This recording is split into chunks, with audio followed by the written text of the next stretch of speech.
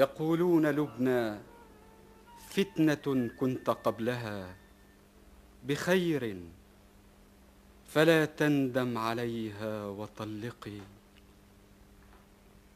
فطاوعت أعدائي وعاصيت ناصحي وأقررت عين الشامت المتخلق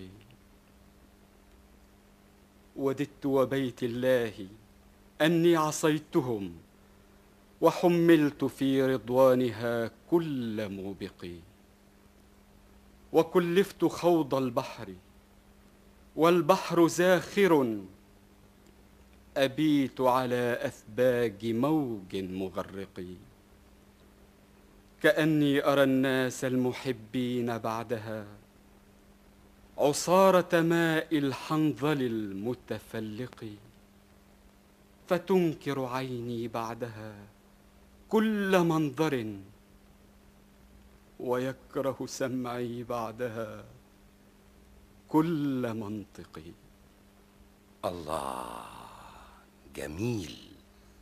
رائع. ما أعذب شعرك يا قيس بن ذريح؟ أتسمح لي بأن أقدمك إلى جمهورنا بما يليق بمكانتك الشعرية؟ في أدبنا العربي. هذا شأنك وكل ما أطلبه هو الإنصاف لأنني كما تعرف قد عاصرت فترة تزاحم فيها شعراء الغزل العقلاء منهم والمجانين وكل منهم له سيرة تناقلها الركبان. وتداولتها قرائح الرواة بالتنميق حينا والاختلاق في معظم الأحيان. ولا تنسى لا تنسى أن تشابه اسمي مع اسم مجنون ليلى. قد أغرى الرواة بنسبة شعر كل منا للآخر. لهذا لهذا أنصحك أن تكون حذرا في تناول شعري وحياتي معا. الواقع أنك لفت نظري لجوانب مهمة في طريقة تناول حياتك لولا أن ثقتي في وضوح قصتك مع لبنى واختلافها تماما عن قصة ليلى والمجنون تمنحني الطمأنينة في عدم وقوع خلط في الموضوع. الخلط في الواقع يقوم في موضوع الشعر ونسبته.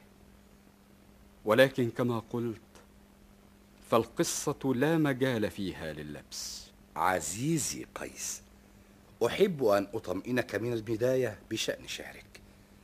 فقد جمعه وحققه في عصرنا الدكتور حسين نصار وهو كله الآن يجمعه ديوان تتداوله الأيدي. وقد بذل المحقق جهدا كبيرا في توضيح هذه القضية. وذلك عندما أشار إلى المصادر التي استقى منها أشعارك. وأعتقد يا عزيزي قيس أننا لا نستطيع الآن ولا نملك الوسائل للتحقق من هذه القضايا الأكاديمية الصعبة التي ليس هنا مجالها. ولكننا نعدك يا عزيزنا قيس بأن نضع كل ملاحظاتك في الاعتبار. سيدي افعل ما شئت. إنني الآن لا أملك لك شيئا. وهل فعلت شيئا إزاء عبث الرواه وما أضافوه أو حذفوه؟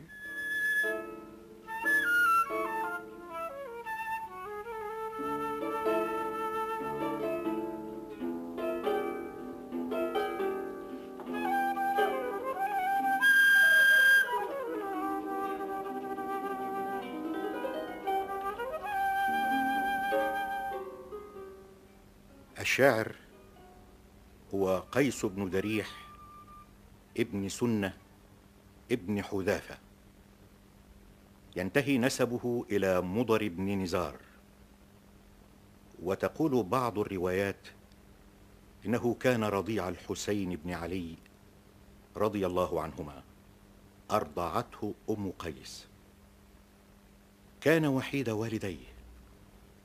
وكان أبوه على شيء من اليسار والنعمة. نشأ قيس على حب أبيه وأمه حبا شديدا. فقد كان بارا بهما وكان هو شغل الليل والنهار بالنسبة لهما. نشأ في مكان يقال له سرف من ضواحي المدينة حتى شب عن الطوق فتى وسيما ليس فيه غلظة أهل البادية.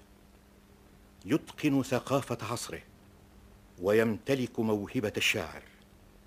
وإن كان شعره لم يعرف إلا بعد تأجج نار حبه بعد فراق محبوبته وزوجته لبنى. فلم يرد في كتب الرواة أي شعر له قبل فراق لبنى. وهو أمر يثير تساؤلا. كيف يكون شاعرا ولا يقول الشعر إلا بعد فراق لبنى وأين كانت أشعاره قبل أن يعرفها؟ سيدي لقد دفعتني دفعا إلى التدخل فيما أنت فيه. إنني التي ألهمته شعره فلم يكن لينطق بيتا من الشعر لولا حبه لي ولولا ندمه على فراقي ظالما أشد الظلم. هذه أيضا قضية علمية. لا نملك الآن الفصل فيها. وإذا أذنت لي فإن قيسا ربما كانت له أشعار أخرى لم تصل إلينا لأن الرواة لم يهتموا بها. ذلك أن الاهتمام الحقيقي بشعره بدأ مع الاهتمام بقصته المثيرة. وهناك شعراء لم يعرف لهم شعر إلا في تجربة واحدة مثل قيس بن الملوح. كل ما أعرفه أنني صاحبة الفضل الأول في كل هذا الشعر الذي قاله قيس بن ذريح. وينبغي أن يكون دوري واضحا عند الحديث عن هذا الشعر لأنني في الواقع دفعت ثمنا باهظا لهذا الشعر الذي تنعمون به وتشغفون بالاستماع إليه. هذا أيضا سوف يؤخذ في الاعتبار. فهل تسمحين لي بالاستمرار في رواية قصة حياته؟ إن قصة حياته هي في الواقع قصة حبه لي وشعره كله هو المظهر الفني لهذا الحب وأنا وحدي أدرى بما حدث. فلماذا لا تتركني أنا أفعل ذلك؟ أخشى أن تكوني غير محايدة. ذلك لأنك طرف في الموضوع ثم إنك أيضا خصم لوالديه اللذين اضطراه إلى طلاقك وتسببا في الفرقة بينكما. فنحن الآن أيها العزيزه لبنى أمام مواجهة موضوعية مع الحدث ولا سبيل هنا للتحيز والعواطف الملتهبة. بل إننا تركنا قيسا نفسه دون أن نسأله عن حياته. وذلك لأنه سيمطرنا بوابل من الدموع والقصائد. هما شفائي يا سيدي. الدموع والقصائد. ما أعذبها من دموع. لقد خففت لوعتي وأطلقت ما بداخلي من حرائق لتطفئها الرياح. أما القصائد فقد كانت عزائي وسلواي في غمرة بلائي. دعني يا سيدي دعني وقصائدي ودموعي فهما أغلى ما عندي. وأنا أنا يا قيس هل نسيتني ووقعت في عشق الدموع والقصائد؟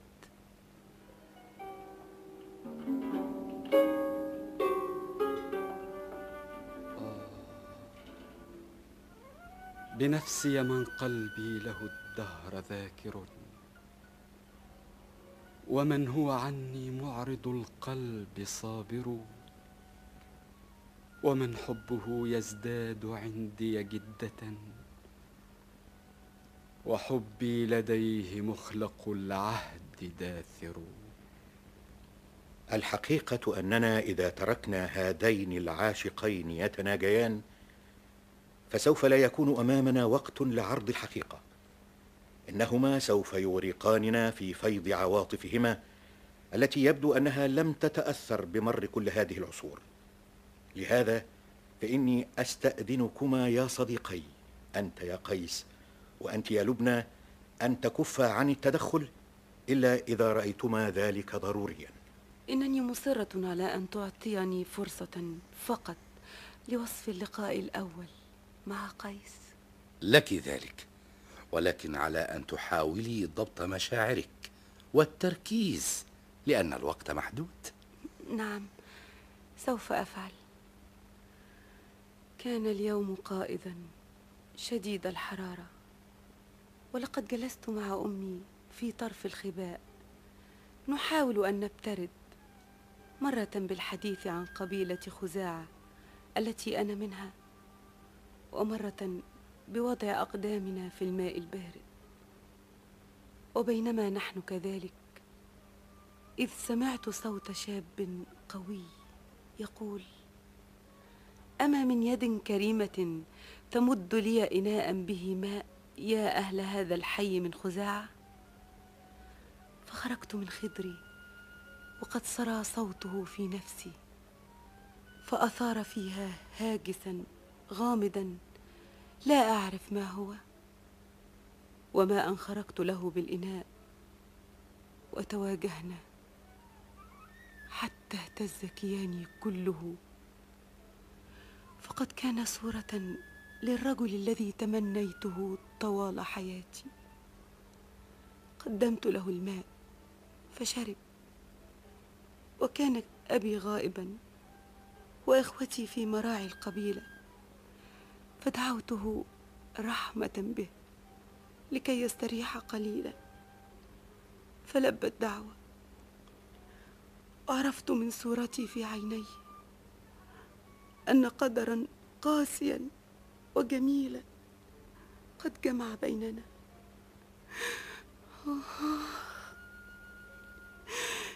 يا لعذابي كيف عدت لتذكر كل هذا؟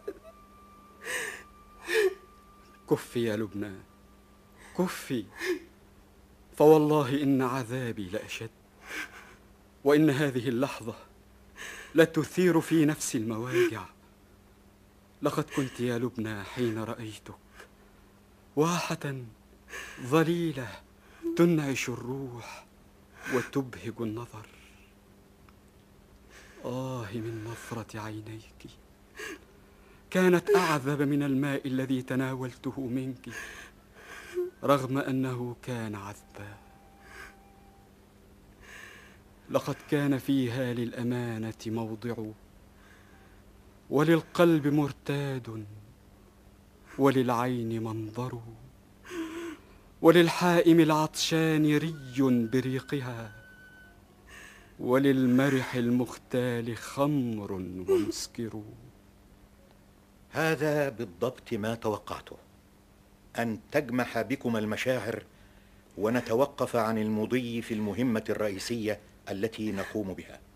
لهذا اسمح لي أن أواصل أنا رواية القصة. هذا أفضل. إنني لا أتمالك نفسي. حاول أن تكمل القصة يا سيدي. وإياك أن تتجنى على الحقيقة. سنحاول سنحاول. اسمح لي يا سيدي أن أكمل أنا. اطمئني يا سيدتي. عاد قيس إلى أهله وقلبه يرقص في صدره بعد أن انبعثت في كيانه نشوة الحب. وانتبهت أمه إلى حاله فسألت ولدي ما أسعدني أن أراك هانئا فرحا؟ ما بك يا بني؟ ضاعف فرحي بالحديث عما وقع لك؟ أماه كنت مارا بحي من خزاعة حين قابلت أجمل امرأة في الدنيا كلها. اسمها اسمها لبنى وأنا عازم على الزواج منها. أناشدك يا أماه أناشدك أن تحدثي أبي لكي يوافق على زواجنا. إنها إنها غاية ما يتمناه قلبي. هي المرأة التي طلبتها طوال عمري. سوف أمطره بالأحاديث تلو الأحاديث حتى يوافق على ما فيه سعادتك يا قيس. أنت أملنا في الحياة وكل ما نرجوه هو أن نراك هانئا في بيتك مع زوجتك وأن نرى لك أولادا يدخلون البهجة إلى نفوسنا. ويحفظون مال أبيك من الضياع. آه لولا أنني أعرف أن أباك يفضل زواجك من إحدى بنات عمومتك. القلب يا أمي قد اختار والسعادة هي الحرية في الاختيار. أما بنات العمومة فلهن في عنقي واجب القرابة. والحب الحب من شؤون القلب وحده. لقد أيقنت أمه من قوة إصراره على زواجه من لبنى فذهبت إلى أبيه وعرضت عليه الأمر فرفض وأشار على قيس بأن يتزوج إحدى بنات عمومته فأصر قيس على موقفه وساق إليه الشفعاء وظلت أم قيس تستميله حتى رضي عن هذا الزواج وزفت لبنى لقيس. ما أجمل تلك الليلة. ليتها كانت العمر كله. فالحب هو روح الحياة. وبدونه يطيب الموت. آه كف الآن. نحن ما زلنا نحاول الوصول إلى الحقيقة. لقد نعمنا بفترة من أجمل فترات الحياة. أيام الحب يا سيدي. ما أجمل أيام الحب. أليس كذلك يا قيس؟ نعم. إن فقدان هذه الأيام هو الذي أصابني بهذا الكرب العظيم الذي تغنى به شعري. ولكن لهذا الألم فضل كبير في تدفق هذا الشعر على لسانك يا قيس. بل قل لولاه لما كان هذا الشعر على الإطلاق. ولكنه ثمن باهظ. دفعناه معا يا قيس. لقد حصلت به على لقب الشاعر الغزل الذي صارت بذكره الركبان. أما أنا فوا حسرتاه لقد دفعت ولم آخذ شيئا. وكيف ذلك؟ لقد صار اسمك من أشهر المعشوقات في تاريخ الأدب العربي كله. اهدأ اهدأ أرجوكما. لقد دفعتما معا ثمن المجد. الألم دائما هو الثمن المناسب للمجد. فكف الآن عن الشكوى ودعانا نكمل رواية القصة. أكمل.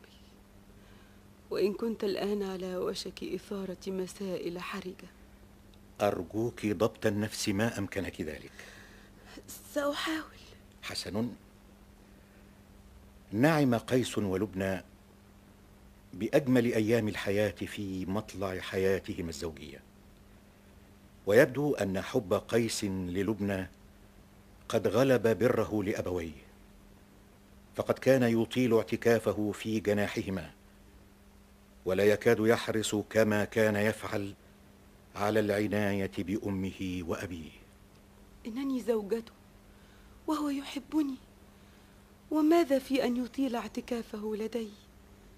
تلك هي الحياة الطبيعية. يبدو أن السعادة قد غلبت الواجب قليلا. فلقد تذمرت أم قيس أول الأمر. ثم بدأ والده يفكر في أشياء أبعد مدى. فلقد تحدث إلى زوجته قائلا ألا يبدو على زوجة قيس الحمل رغم مرور كل هذا الوقت على زواجهما؟ آه لا يبدو أنها ستلد لنا حفيدا يا أبا قيس. ومن ذا الذي سيحفظ ثروتي من بعدي؟ هل ستنقطع ذريتي ويضيع مالي الذي جمعته بكدي؟ ويظل قيس هكذا فريدا وحيدا بلا ولد. هذا لا يكون ابدا. لم أكن من البدايه راضيا عن ذلك الزواج يا ام قيس. وماذا عسانا نفعل الآن معا؟ آه وهو مشغول بها ليله ونهاره. لا يكاد يفرغ لنا لحظة ولا نكاد نراه. لابد إذا من طلاقها. لابد من طلاقها.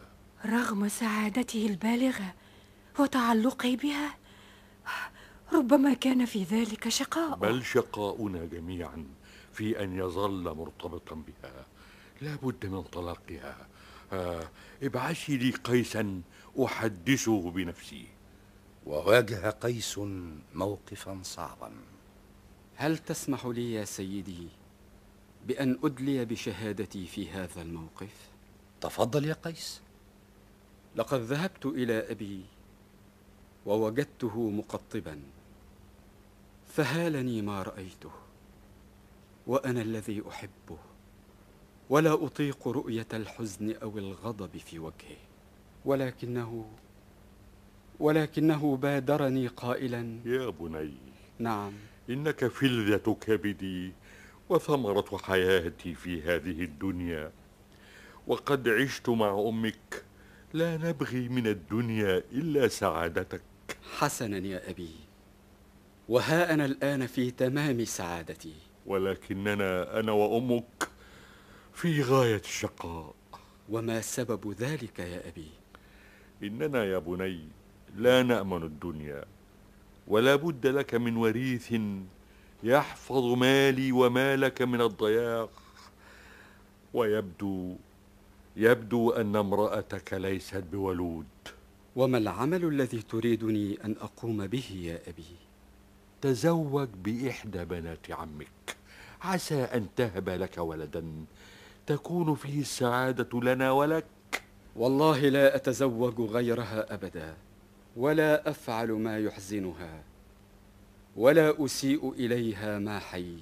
إذا يا بني تسر بالإماء لعلك معقب ولدا ولا هذه أيضا يا أبي. لا تقس علي يا بني إنك تسد علينا أبواب الحل لهذه المشكلة وتأبى إلا أن تضيق ما فيه متسع. ناشدتك الله يا بني أن تطلقها؟ فإنني لا أطيق صبرا على عدم إنجابها. إنني لن أتزحزح قيد شعرة عن موقفي. ولكنني ولكنني أعرض حلولا أخرى. وما هي؟ ما هي؟ تزوج أنت. فلعل الله أن يرزقك بولد غيري. يحفظ مالك ونسبك. وهل ترك لي الزمن بقية من عافية؟ أتهذي يا قيس؟ إذا إذا دعني ولبنى نرتحل عنك ولنفترض أني قد مت ولا علة لنا أمام الموت. وهذا أشد علي من كل شيء. لا لا يا بني. إذا أترك عندك لبنى وأرحل وحدي. لعلي أجد السلوان في رحيلي. لا أرضى إلا أن تطلقها ووالله لا أقيم معك تحت سقف واحد حتى يقع ذلك الطلاق.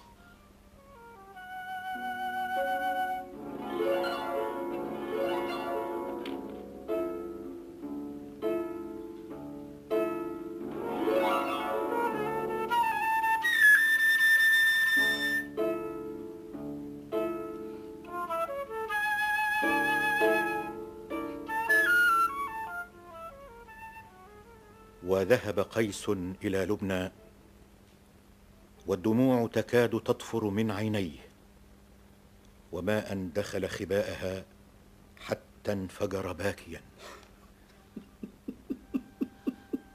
قيس قيس أتبكي أيها الزوج الحبيب؟ إنك تفتت كبدي وتمزق قلبي ببكائك هذا إنني أعتمد على صلابتك. فلا تخضع هكذا. لا تخنك شجاعتك حتى لا نتحطم معا. إنه الهول يا لبنى إنه الهول إنهم يريدونني أن أن أطلقك. وقد أقسم أبي ألا يستظل بسقف بيته طالما بقيت على رفض الطلاق. إنني إنني بين شقي الرحى. ماذا ماذا أفعل يا لبنى؟ ماذا أفعل؟ إنني إنني أتصدع تعلمين حبي لأبي. وإذا تركته يقضي نهاره في وقدة الصحراء. وتحت شواظ هذه الشمس الحارقة. فقد يموت. ولن أغفر لنفسي ذلك أبدا. ماذا؟ ماذا أفعل؟ وإذا وإذا طلقته لا لا. إياك أن تفعل.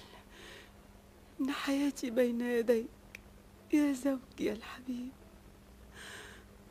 لن أعرف لي وجهة إذا تركتني. سيصير الحلم مرة والنوم عذابا وسينقلب الشباب عقابا والموت هو المرتجى.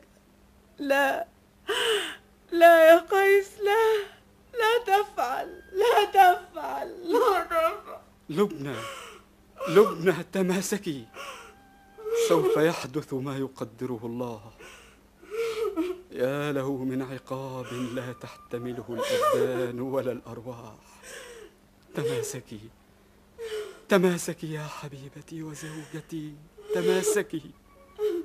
إن أبي قد خرج الآن إلى حرارة الشمس. ولا بد أن أذهب إليه بمظلة حتى لا يموت. خرج قيس. وظل أياما يحمي أباه من حرارة الشمس حتى إذا ما أقبل الليل رجع إلى بيته. وطال العناء بالشيخ وران على البيت صمت طويل هو صمت الخصام. حتى فاتحت أم قيس ابنها في الأمر قائلة. يا قيس ألا ترى أن أباك قد ضعضعته المحنة وهزل جسمه وساءت صحته؟ أتقضي على أبيك يا ولدي؟ ارحم شيخوختنا. هل نسيت ما فعلناه من أجلك؟ أتبيعنا من أجل امرأة غريبة؟ وما أكثر النساء الجميلات سواها؟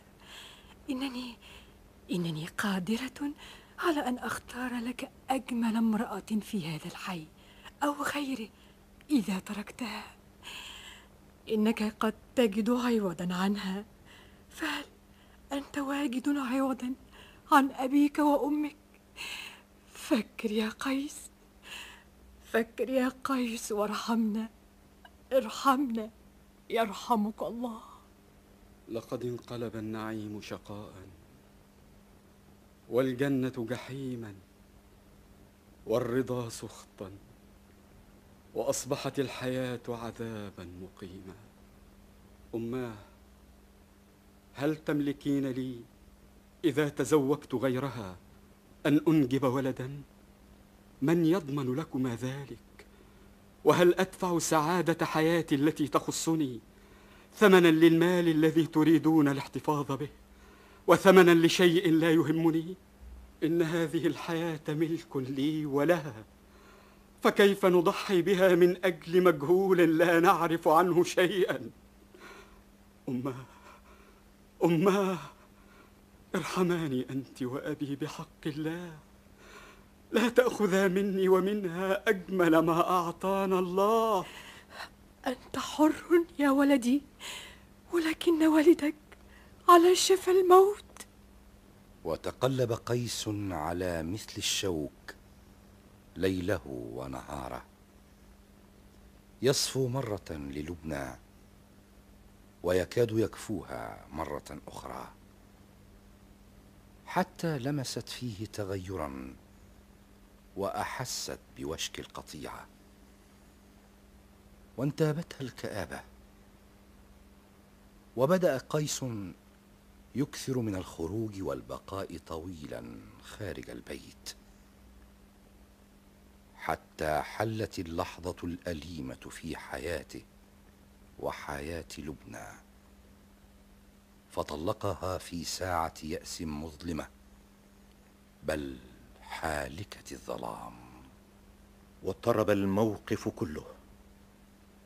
فقد تهالكت لبنى من البكاء وضج أهلها بسبب ما فعله قيس بغير ذنب جنته زوجته. وحاول والد قيس ووالدته أن يستعرض الفرص الجديدة لاختيار زوجة أخرى لابنهما. غير أن قيسا ما أن طلق لبنى حتى أصابه ما يشبه الذهول فاختلط عقله وصار يهذي أثناء نومه. فإذا صحى من نومه كف عن الكلام والشراب والطعام ولم يجد إلا الشعر صديقا في محنته. وجاء أهل لبنى ليحملوها إلى مضارب خيامهم. وقيس يقف ذاهلا نادما لا يدري ما يفعل سوى إنشاد الشعر.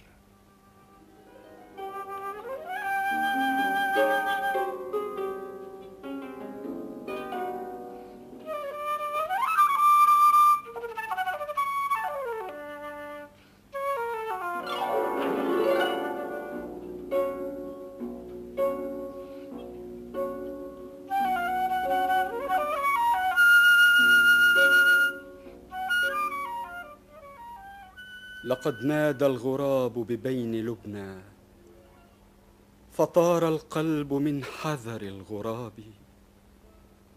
وقال غدا تباعد دار لبنى وتنأى بعد ود واقتراب. فقلت تعست ويحك من غراب. وكان الدهر سعيك في تبابي رحلت لبنى وأقام العذاب. ماذا يفعل قيس بحياته وقد أصبحت بلا معنى؟ هل يتزوج؟ وكيف وهو غارق في حب لبنى أكثر مما كان وهي معه؟ وأين تلك المرأة التي تخلع قلبه لتضع له قلبا جديدا يملك به أن يحب من جديد؟ لقد سقط قيس صريع الندم وأطبق عليه كابوس الرحيل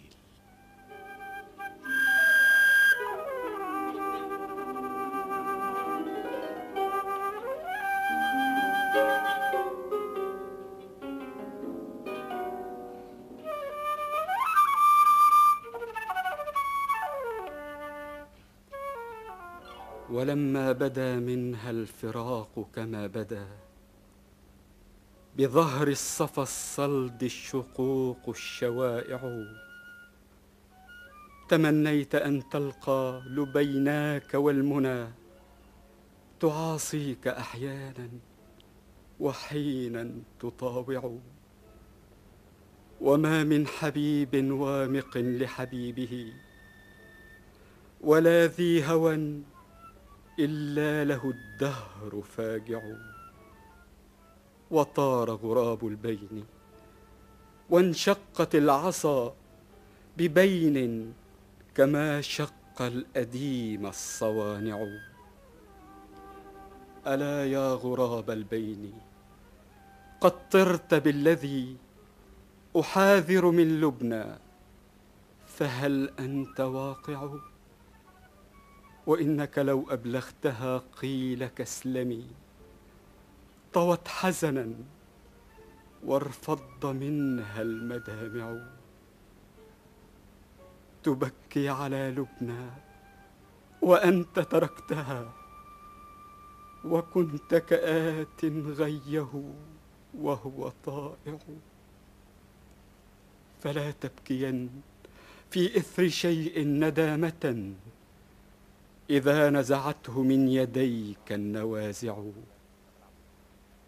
فليس لأمر حاول الله جمعه مشت ولا ما فرق الله جامع. فليس لأمر حاول الله جمعه مشت ولا ما فرق الله جامع. هكذا بدأ الندم القاسي.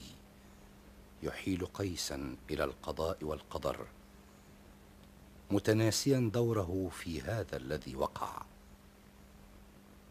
ولكنه لا يلبث أن يسقط من جديد في دوامة الإحساس بالذنب.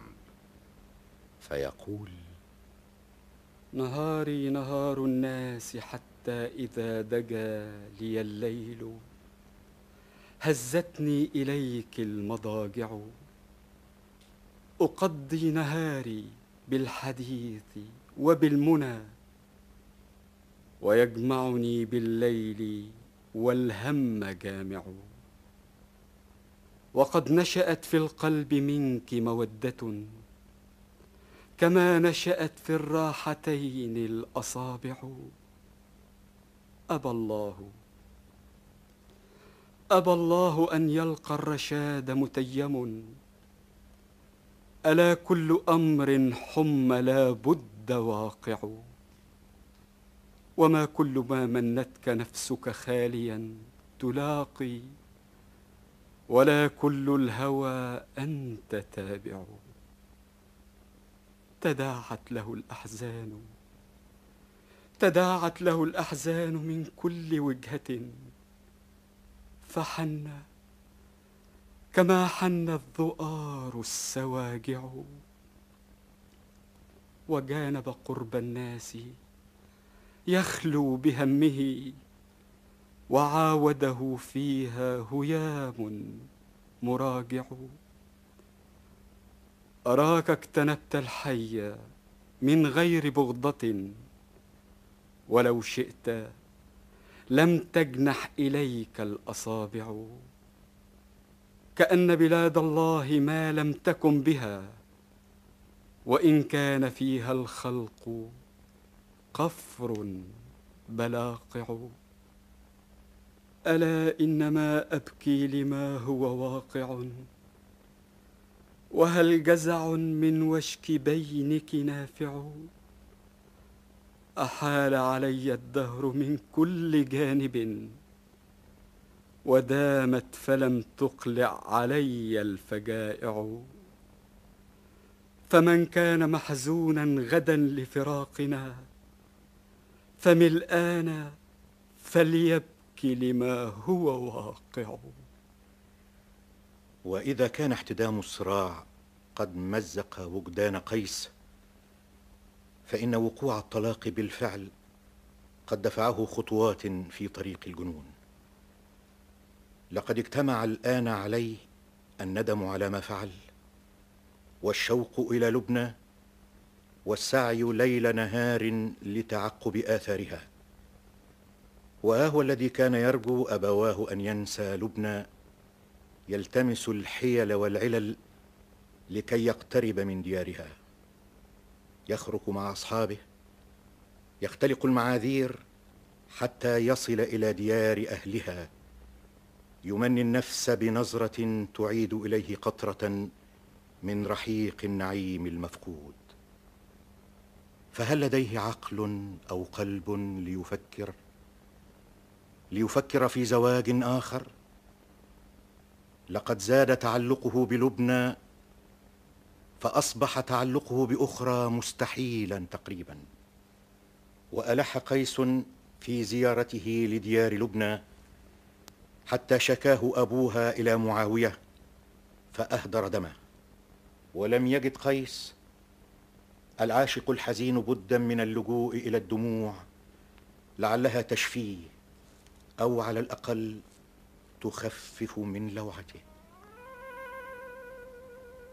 فإن يحجبوها أو يحل دون وصلها مقالة واش أو وعيد أميري فلن يمنعوا عيني من دائم البكاء ولن يذهبوا ما قد أجن ضميري.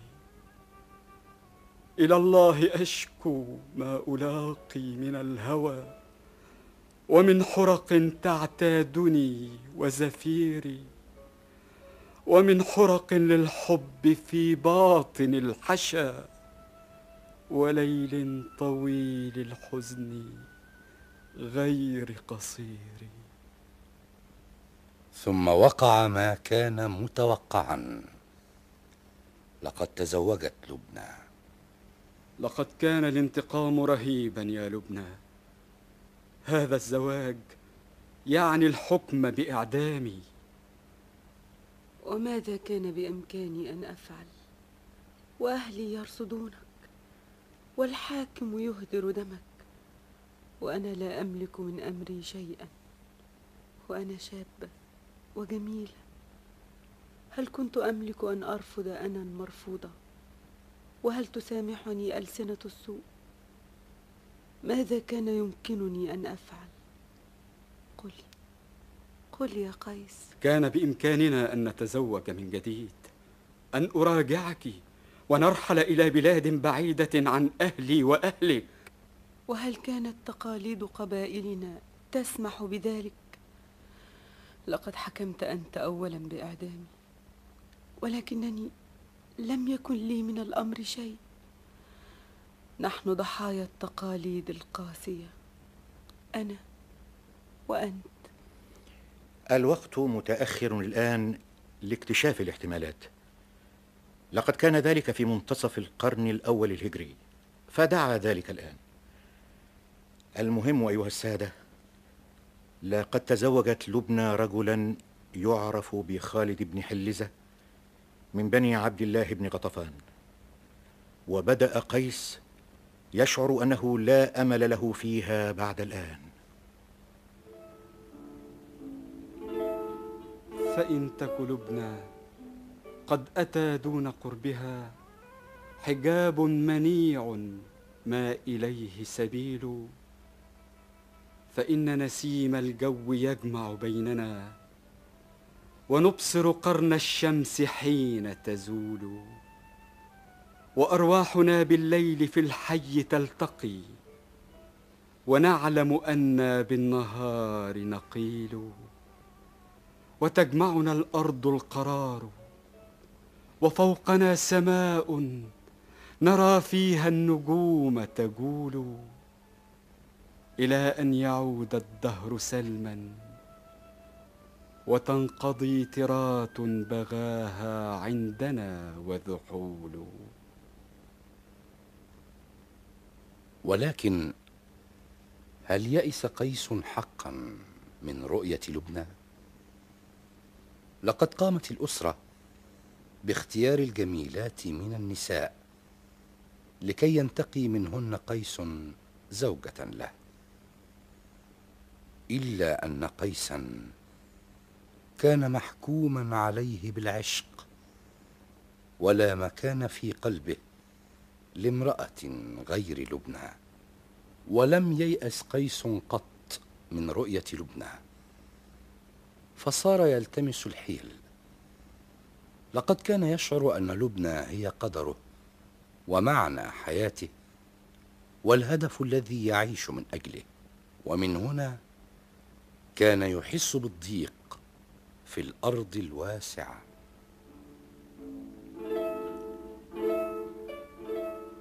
تكاد بلاد الله يا أم معمر. بما رحبت يوما علي تضيق تكذبني بالود لبنى. وليتها تكلف مني مثله فتذوق. ولو تعلمين الغيب أيقنت أنني لكم والهدايا المشعرات صديق. تتوق إليك النفس. ثم أردها حياء. ومثلي بالحياء حقيق. أذود سوام النفس عنك. وما له على أحد إلا عليك طريق. ولم أر اياما. ولم أر اياما كأيامنا التي مررن علينا. والزمان أنيق ووعدك إيانا ولو قلت عاجل بعيد كما قد تعلمين سحيق وحدثتني يا قلب وحدثتني يا قلب أنك صابر على البين من لبنى فسوف تذوق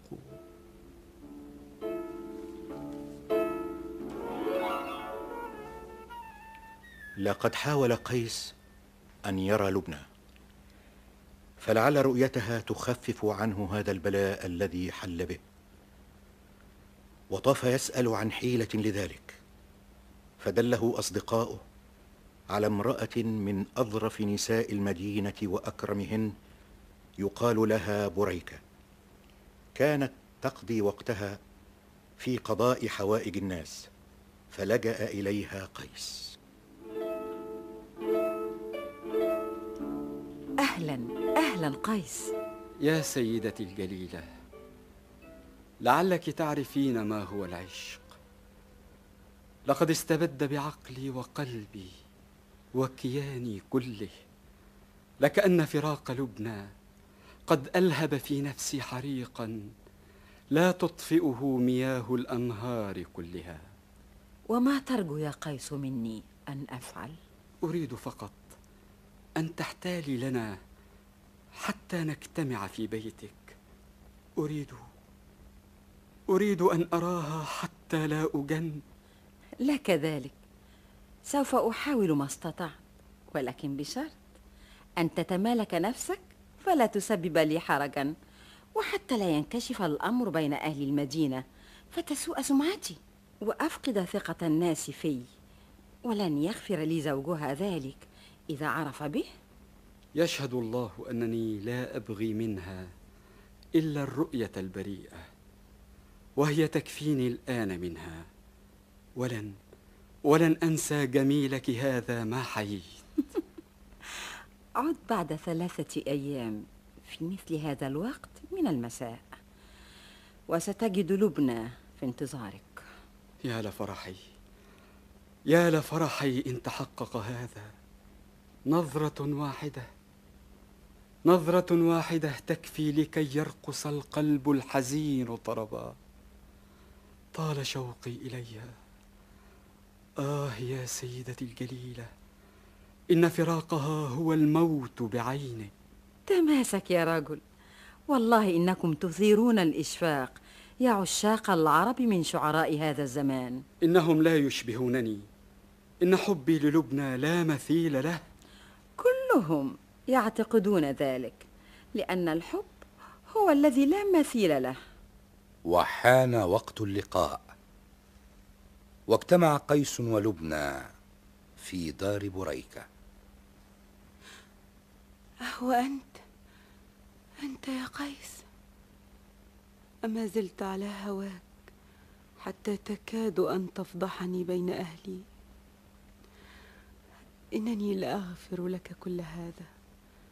لأن ما لك في القلب أرسخ من الجبال وأعتى من الريح العاصفة. لبنى إنني لا أكاد أصدق عيني.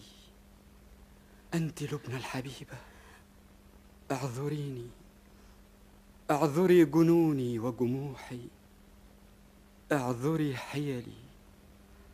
إنني لا أستطيع صبرا على فراقك.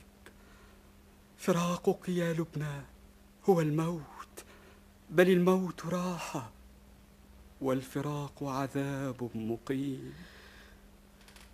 والله يا قيس إن النار التي تلهب قلبك تكاد تأتي على كل جوارحي ولكن قضاء الله نافذ فإما الصبر أو القبر. وهل أنت سعيدة مع زوجك؟ إن زوجي رجل لا غبار عليه ولكن خيالك الماثل أمامي يفسد علي حياتي. لقد بلغني أنك تبحث عن زوجة تعوضك عني. لقد حاول أهلي ذلك.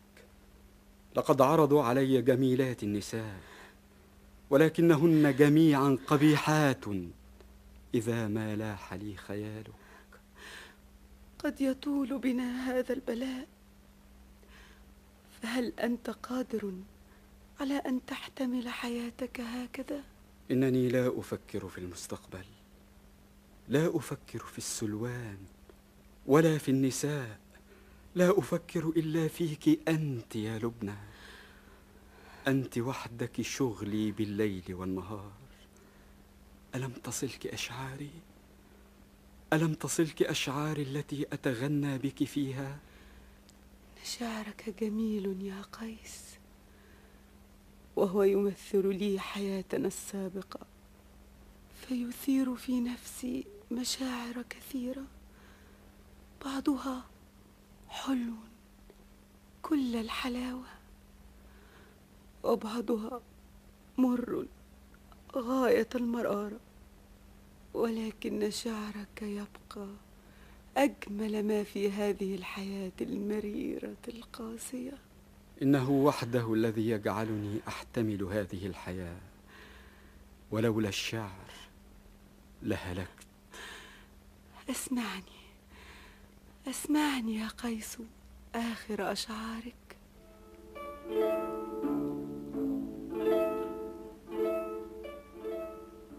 أعالج من نفسي بقايا حشاشة. على رمق والعائدات تعود. فإن ذكرت لبنى هششت لذكرها.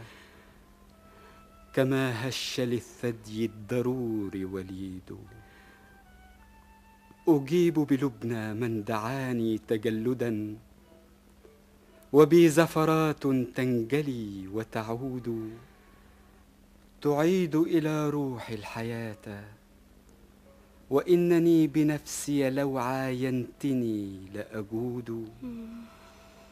ألا ليت أياما مضين تعود.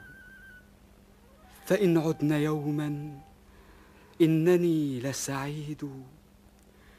سقى دار لبنى حيث حلت وخيمت. من الأرض منهل الغمام رعود. لا جدوى لا جدوى يا قيس من كل هذا. فقد حل بنا الشقاء وتفرقت بنا السبل. وأنا الآن في حمى رجل لا أستطيع أن اخونه وأنت أنت يا قيس. هل تقضي بقية أيامك؟ تنشد الأشعار وتناجي الأطيار وتنتظر الموت. وهكذا نحن الآن. حكم علينا الأهل بالضياع. فلا نحن نعمنا بما كنا فيه. ولا نحن بقادرين على تغيير ما صرنا إليه. ولا هم قد حققوا ما كانوا راغبين في تحقيقه. لقد أفلحوا فقط. لقد أفلحوا فقط في هدم سعادتنا أنا وأنت يا لبنى. من أجل ماذا؟ من أجل ماذا؟ من أجل ولد مجهول لن يجيء. ومال مآله إلى الضياع. وها أنا ذا.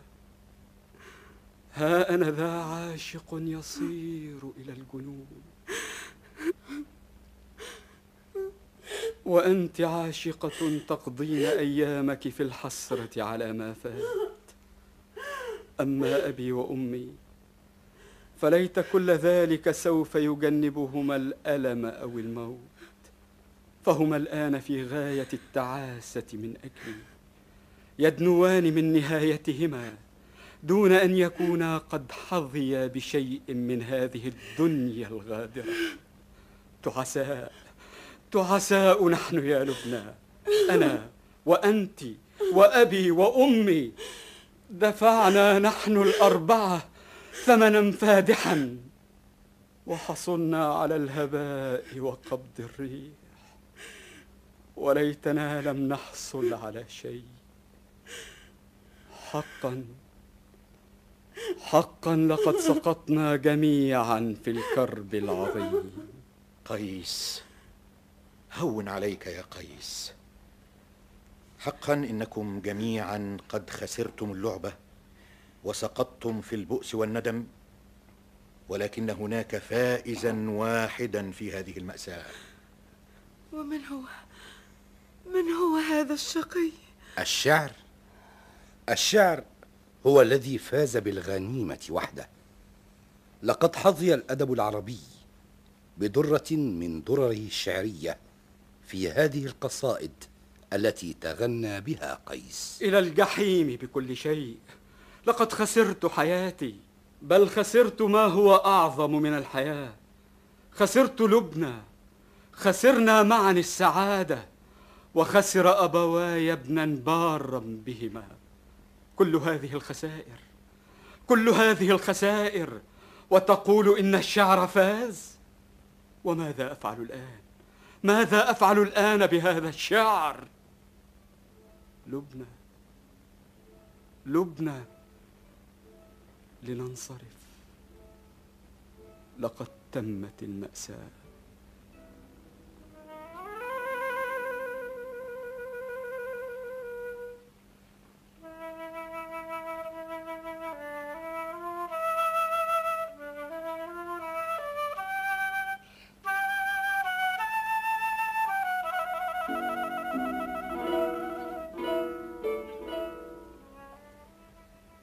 أما ختام القصة فقد اختلف فيها الرواة فبعضهم قد رأى أنهما ماتا مفترقين وأن قيسا مات قبل لبنى وعندما بلغها موته ماتت اسفا عليه وربما كان هذا من تلفيق الرواة. وبعضهم يرى أن لبنى عادت لقيس بعد أن طلقها زوجها وعاشت مرة أخرى مع قيس. ومعظم المؤرخين ينكرون ذلك. وهكذا يكون قيس قد افترق عن لبنى إلى الأبد. على كل حال إن دنت أو تباعدت فإن تدن مني فالدنو مزيد فلا اليأس يسليني. ولا القرب نافعي ولبنى منوع ما تكاد تجود. كأني من لبنى سليم مسهد يظل على أيدي الرجال يميد. رمتني لبينا في الفؤاد بسهمها وسهم لبينا للفؤاد صيود. سلا كل ذي شجو علمت مكانه. وقلبي للبنى ما حييت ودود وقائلة قد مات أو هو ميت. وللنفس مني أن تفيض رصيد أعالج من نفسي بقايا حشاشة. على رمق والعائدات تعود.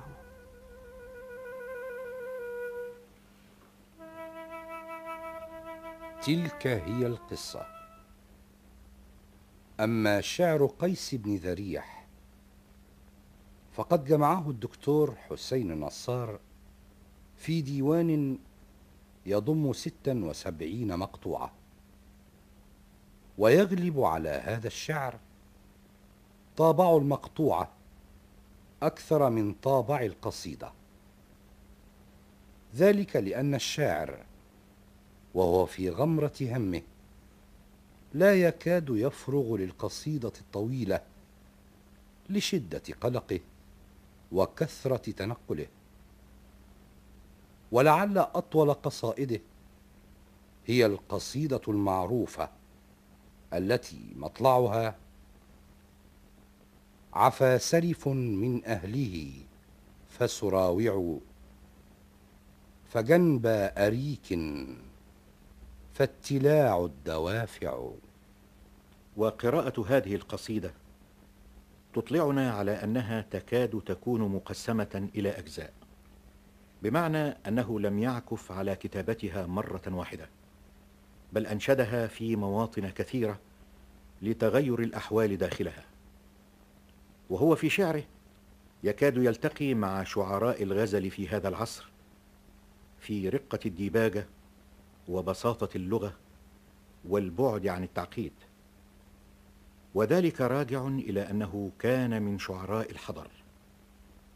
فقد كانت منازل أهله بظاهر المدينة. أما منزله هو فكان في المدينة نفسها. ولعل الصياغة الشعرية لشعره تقترب بصورة ملحوظة من شعر مجنون ليلى مما أوقع في اللبس ونسبة الكثير من هذا الشعر إلى كليهما. وإذا كان الحب هو قضية الحياة بأكملها بالنسبة لمجنون ليلى فإن شعر قيس بن ذريح يدور كله حول تجربة الفراق. وهو يختلف عن قيس بن الملوح في أنه قلما ينتبه إلى الظواهر الطبيعية من حوله فلم يكن يخاطب الجبال ولا يأنس إلى الوحش ويهرب من الناس ولكنه ظل اجتماعيا كثير الأصدقاء. يحتفظ بقدر كبير من عقله لاستخدامه في الحيلة لرؤية لبنى من جديد. ونحن لا ندري هل كان شوق قيس بن الملوح أعظم لليلى أم شوق قيس بن ذريح. قيس بن الملوح لم يذق أبدا سعادة الحب التي ذاقها صاحبه. فهل من ذاق أشد أو أخف لوعة ممن لم يذق؟ هذا ما تحدثنا به أشعار الشاعرين. فالمجنون ذهب الشوق والحرمان بعقله ولم يبق منه شيء. أما ابن ذريح فقد بقي له كثير من هذا العقل يدبر به الحيل. وتظل قصة قيس بن ذريح أقرب إلى المنطق والواقعية والمعقول من قصة المجنون. فيقول الدكتور طه حسين معلقا على قصة قيس بن ذريح أما هذه القصة فقصة جيدة حقا. لا ينبغي أن تقرن إلى هذا السخف الذي تحدث به الرواة عن المجنون. ولا إلى هذا الفتور الذي ذكروا به حب جميل. إنها قصة إنسانية تمتاز بما اختص به بطلها من عاطفة قوية وحب لا يعدله حب وحرص على الوفاء شديد. فإذا أردنا أن نختصرها استطعنا أن نقول إنها جهاد بين البر والحب. رجل يريد أن يكون بارا بأبويه ووفيا لزوجه فيستحيل عليه التوفيق بين هاتين الخصلتين فيضحي بإحداهما في سبيل الأخرى. ولكن هذه التضحية تنغص عليه حياته كلها وتضطره إلى ألوان من الهول وضروب من الألم لا تكاد تحصى. فقصتنا إذن قصة نفسية خلقية بالمعنى الحديث لهاتين الكلمتين.